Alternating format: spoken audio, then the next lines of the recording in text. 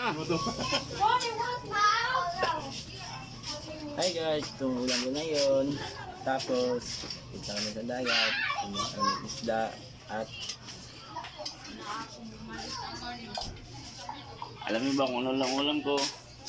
ano ano na ito? Oo. Yan, oh. Pinagits yan. Ang ulam ko.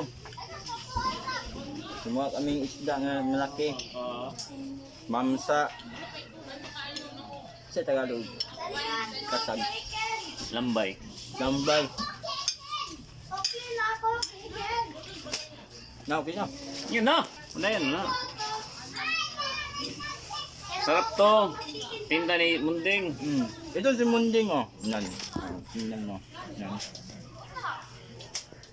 Ang lahat mo nang ng nawong. Ako rin nang ako na noon doon. Wala na ko ang cellphone, Chris Noe. Nani mo ang cellphone? Ito. Kapag si Munding ang nag-ano, nagluluto. Yate. daw.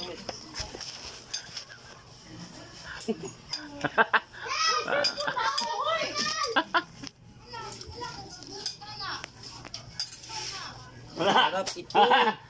Si Munding ang nagluluto. Wala man.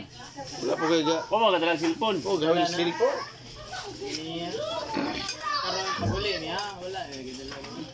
Alam iskulan. Ah, natoy lod, wala.